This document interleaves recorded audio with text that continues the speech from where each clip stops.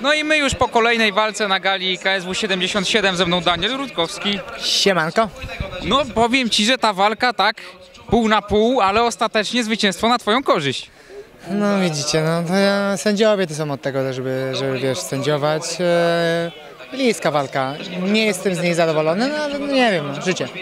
Pół na pół miałem tu na myśli wymianę ciosów, no bo było widać ciosy twojego rywala, nawet powiem szczerze, z przeważającą większością, ale jednak niejednogłośną decyzją sędziów udało ci się utrzymać tą szalę zwycięstwa. No to trzeba było, wiesz, to obejrzeć, bo czuję, że ja więcej ja trafiłem niż on. No, okej. Dużo przez, przestrzeliwał naprawdę bardzo dużo.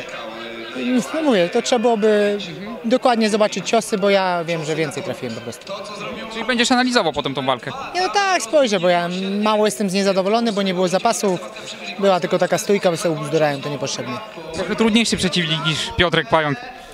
Nie, no tak, zdecydowanie, wiesz, to jest całkiem inna, no KSW to na tym mi zależy, tutaj się do tego przygotowuję, to jest takie numerem jeden, więc oczywiście, że staramy się jak najlepiej z tego wyjść. Ale myślę, że pomimo wszystko możesz być dzisiaj z siebie zadowolony, no bo to ty pokroczyłeś tą aleją gwiazd. No właśnie, no chyba tak, ale mówię, ja jestem dla Ciebie karygodnie nastawiony na swoje jakieś tam z walki, co nie?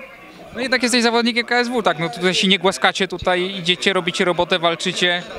No właśnie, to jest to.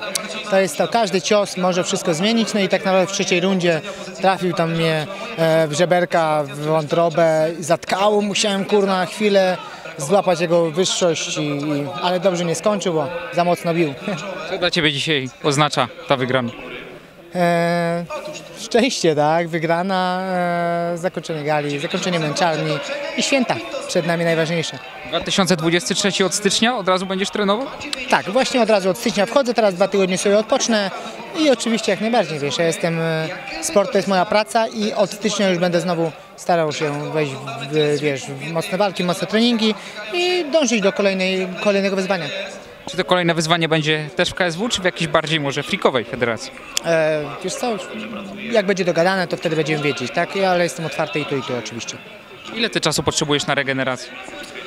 Wiesz co, zawsze miałem miesiąc odpoczynku, ale teraz robię sobie dwa tygodnie właśnie, tak, żeby odpoczęła głowa, trochę się najeść syfu, trochę za, za, zatłuścić, zasypić ten organizm i znowu później wchodzić na, na normalne życie dietetyczne i w ogóle. Myślę, że lepiej nie mogłeś trafić niż ten termin po prostu przed świętami na tydzień. Tak, to jest właśnie najlepszy ten, te, termin, myślę, dla sportowca, tydzień przed świętami, więc teraz kończymy i święta, odpoczywamy, jemy, cieszymy się. Jak myślisz, co czują ci na przykład Radek Paczuski, który będzie walczył w styczniu? tak, nigdy bym nie wziął walki w styczniu, bo ja za bardzo lubię jeść i, i to było, były tak naprawdę udręka, żebym, wiesz, w święta miał dietę jeszcze. Karp czy makrela? Makrela, jak już to makrela, karpa, karpia nie bardzo lubię, bo jest za dużo ości, się wkurzam. Ale będzie 12 potra. Nie no, będzie, 13 może nawet, nie wiem, będzie, będzie. Wyjeżdżasz gdzieś na święta?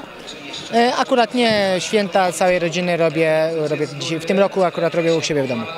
Powiedz mi, bo mnie to bardzo interesuje. Jak to się stało, że ty kiedyś na ważenie wziąłeś węża boa? No kiedyś na zapasy w Radomiu były, wiesz, e, turniej, więc przyniosłem w torbie dwa węże, żeby po prostu ludziom pokazać, bo wiesz, chcieli, żeby zobaczyć, no i przyniosłem. Jaka była reakcja publiczności? No takie zdziwienie, zaskoczenie, kurno wąż, ty wąż, wyciąga rutek, rutek wąża, kurno. Ale w porządku. I to było tak, że wszy- wszystkich poinformowałeś wcześniej i było tylko tak, takie szmery na publiczności. Co Daniel ma w swojej torbie? Niektórzy wiedzieli, wiesz, ale później wszyscy się dowiedzieli, bo teraz dwa się rozniosło. A na następną galę też przyniesiesz?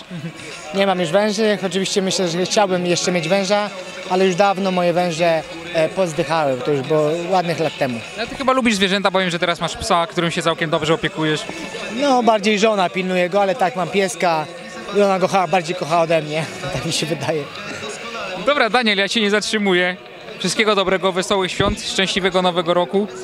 Dziękuję No i- bardzo, właśnie, to jest najważniejsze, wesołych i spokojnych i zdrowych życzę. Dzięki, Samych wygranych walk i wszystkiego dobrego. zdrowia, dzięki serdeczne. Dzięki.